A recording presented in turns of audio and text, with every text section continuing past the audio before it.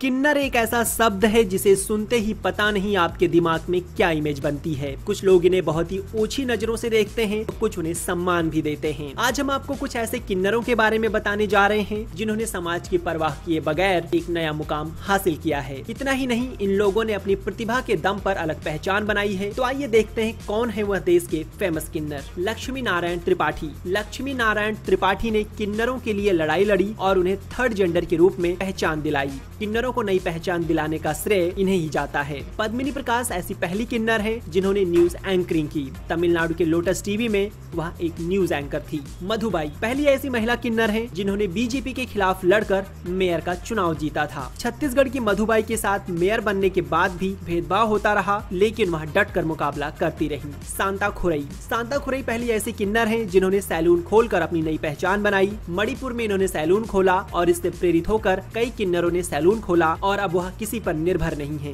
कल की सुब्रमण्यम। कल की एक किन्नर एंटरप्रेन्योर है। उन्होंने सहोदरी फाउंडेशन की शुरुआत की जो भारत में किन्नरों के सशक्तिकरण का काम करता है। दिल्ली के रुद्राणी क्षेत्रीय ऐसी किन्नर है जिन्होंने मॉडल के रूप में अपनी अलग पहचान बनाई है। Professional modelling agency Mitra trust के साथ मिलकर उन किन्नरों के लिए काम कर रही है जो की मॉडलिंग करना चाहती है।